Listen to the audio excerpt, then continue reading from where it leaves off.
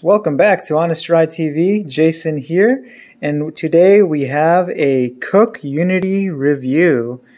Uh, this meal is the adobo hanger steak, crafted by Chef Einat Admony.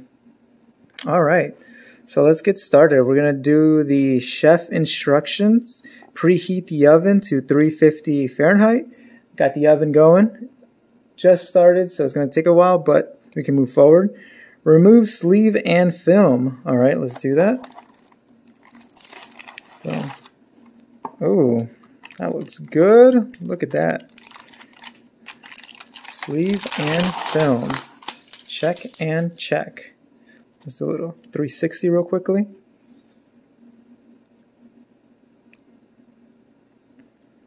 Those greens look green. Very nice.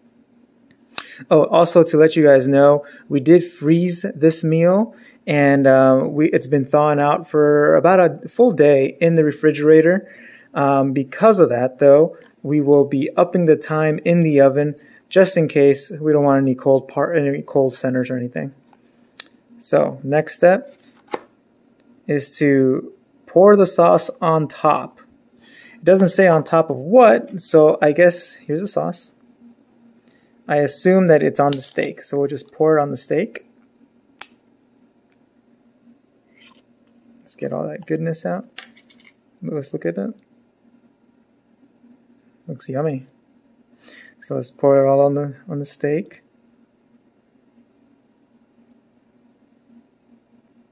All right, that's good. Let's put this aside. And next steps are Heat up to 10 to 15 minutes or until heated thoroughly. All right. Well, we're going to add five more minutes to the, the last part, of the 15. So make it, we'll do 20 minutes at 350. And uh, we'll get back to you once I pull it out the oven. But it's looking good so far without even being heated. All right, stay tuned. Hi guys, it's Nicole. Welcome back to HonestTry TV. And Jason kicked us off with the adobo hanger steak by Chef Einat Admony of Balaboosta from CookUnity. And so um, he just pulled it out the oven for me, and here's how we're looking. So we got a potato, looks like some broccoli, and of course our steak. So I'm going to try it now, and let's see how it is. So I will start with the potatoes. It's okay. Need some salt.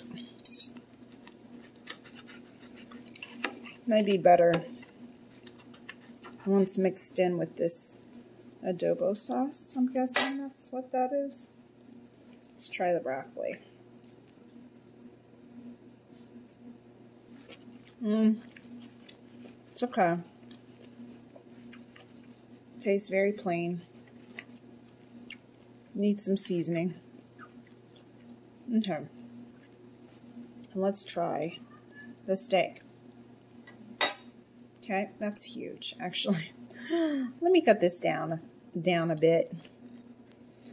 I feel like I'm going to be chewing forever. Ah, All right, should have gotten a steak knife. This isn't super um, okay, come on. Isn't super tender. This isn't butter knife um, tender, as you can see.